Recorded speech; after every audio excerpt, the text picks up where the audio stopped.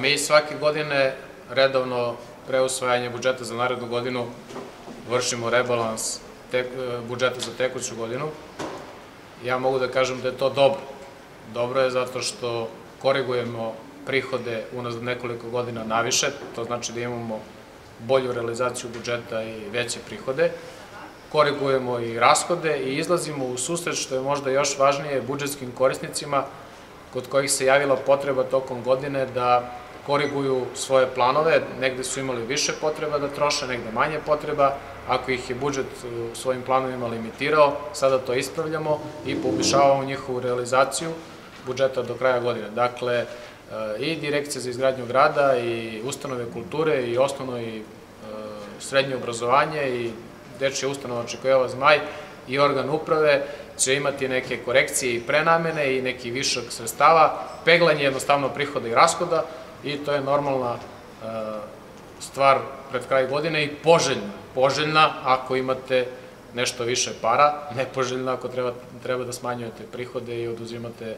korisnicima sredstava e, novac i terate ih na racionalizaciju. Tako da možemo da budemo zadovoljni što imamo rebalans. Mi novinari kao piroćanci smo bili zadovoljni svim onim što smo čuli kada je u pitanju budžet za narednu godinu. Ja sam upamtio onaj deo vaš u uvodu, e, da poslujete dobro, da na računu imate u ovom trenutku toliko i toliko. Rekli ste još nekoliko značajnih karakteristika na osnovu kojih ste krenuli u budžetiranje za narednu godinu. Da, ja sam rekao da možemo da budemo zadovoljni i mi koji smo pripremali budžet i odbornici koji će ga usvojiti i pirotska javnost budžetom za 2016. godinu, a to može da se vidi kroz nekoliko blic kriterijume. Ako mi imamo dnevno na računu, likvidni smo blizu 2,5 miliona eura, ako nikome ništa ne dugujemo, ako su svi izvođači radova servisirani na vreme, ako nam javna preuzeća pozitivno posluju, ako takođe oni svoje investicije izvršavaju na vreme i svoja, svoje dugovanja prema izvođačima. Ako kao javna prezeća i organ uprave nemamo viška zaposlenih, onda su to neki kriterijumi na osnovu kojih možemo da budemo zadovoljni i na osnovu toga smo izvršili projekciju budžeta za 2016. godinu, po meni prilično realno. Dakle, budžet se kod nas uvek pravi u jednom procesu razgovora sa budžetskim korisnicima šta su to njihove potrebe.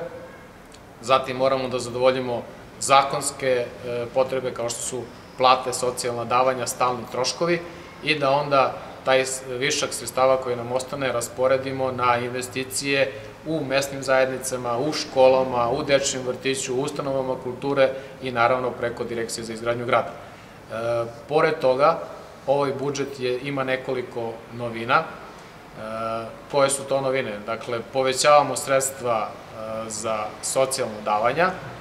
Do sada smo imali 8.000 dinara jednokratnu, meseš, jednokratnu naknadu za novorođeno prvo dete, sada to povećavamo na 10.000 dinara. Do sada smo imali 2.500 dinara mesečno za nezaposlene majke, sada to povećamo na 3.000 dinara, s tim što će isplata biti u tri jednokratne rate, dakle, posle ostvarivanja prava i rođenja deteta, nezaposlena majka će tri meseca dobiti po 12.000 dinara, naknadu za, prvo za treće dete u porodici do 18. godine, Mi smo jedan od redkih gradova u Srbiji koju tu naknadu ima, povećavamo od 1500 na 2000 dinara, e, povećavamo, e, uopšte socijalna davanja su nekde na nivou 50 miliona dinara, tu su i lokalni plan akcije za decu i stipendije studentima i stipendije sportistima, dakle mnoge stvari koje smo obuhvatili. E, pored toga povećali smo E, davanja za poljoprivredu od 42 miliona na 50 miliona dinara, povećali smo davanje za medije od 20 miliona na 22 miliona dinara, povećali smo davanje za sport od 50 miliona na 58 miliona dinara. E, ono što je potpuna novina jeste da smo obezbedili plaćanje prevoza za nastavno osoblje u osnovnim i srednjim školama, na što smo izdvojili 15 miliona dinara, nastavili smo sa besplatnim prevozom za starije od 65 godina i mislim da uz investicije za koje je planirano preko 280 miliona dinara možemo da budemo zadovoljni i rashodnom stranom. E sad, kada su u pitanju prihodi, govori se, bit će mnogih izmena i tako dalje ova godina, sledeća, kad kažem ovo, mislim na sledeću godinu, e, da li očekujete da će biti neke konstante, odnosno da nas ništa neće neprijatno iznenaditi u prihodima? Teško je Srbiji to prognozirati. Vidite, 2015. godina što se tiče opštine Pirot je karakteristična po tome da su prihodi odlični, na nivou i čak iznad idealnih, zbog toga imamo i rebalans, a 2016. godina po meni će biti stabilna zbog toga što e, najavljena izmena zakona o finansiranju lokalnih samouprava da. će eventualno stupiti na snagu od 1. januara 2017. Tako da se ja ne bojim za 2016. godinu, treba se pribaviti 2017. godine, jer su najavljeni e, najavljene promene smanjenja transfera, promena procenta e, podele između lokalne samuprave i države u odnosu na porez na zarade i e, još druga negativna rešenja koja mogu i tekako da promene način finansiranja i opšte ukupne prihode, tako da onaj ko bude sastavljao budžet za 2017. godinu imaće dosta velike probleme ukoliko ova zakonska rešenja stupe na snagu. Da vas podsjetim da je na nedavnoj skupštini stalna konferencija gradova i opština uputila javni poziv Ministarstvu financija da povuče iz procedure nastrat zakona o finansiranju lokalnih samouprava, jer će sve lokalne samouprave, ako taj zakon kako je sada u nacrtu rečeno stupi na snagu, imati velikih problema u finansiranju, ali 2016. godina će proteći po meni poprilično stabilno. Šta je sa brojem zapošljenih? To je prvi deo i drugi deo. Vi ćete morati da dodate od, određena sredstva e, zapošljenima u preškolskoj ustanovi, a na drugoj strani ste limitirani. Pa to je još jedan kriterijum koji može da, koji pokazuje, koji može da, da kaže da smo mi e, odgovorna i dobra, uspešna lokalna samouprava, to je da nemamo višak zaposlenih u organu uprave, u opštini i u javnim preuzećima.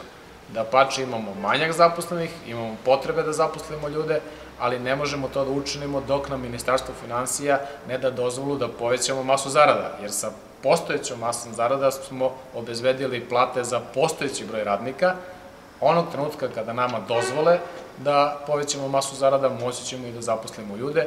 U ovom trenutku negde 30 do 40 ljudi je na nivou uh, opštine Pirot manjak. Novinari koriste obično stereotip i pitaju kakav je ovo budžet, kakav će biti budžet. Pa čuli ste kakav je budžet, ja mislim da je... Uh, Kako ga definišete vi? Ja definišem budžet za 2016. godinu kao budžet koji će uh, ispuniti očekivanje svih budžetskih korisnika. Mi smo napravili programski budžet, što je novina za lokalnu samoupravu u Srbiji. Mi smo napravili rodno odgovorni budžet, što je takođe novina. Mi smo napravili e, budžet uz, u principu, uz principe participativnog budžetiranja, mi smo napravili socijalno odgovorni budžet, mi smo napravili razvojni budžet jer smo dosta novca odvojili za kapitalne investicije. I u tim ocenama treba e, tražiti karakteristiku budžeta za 2016. godinu.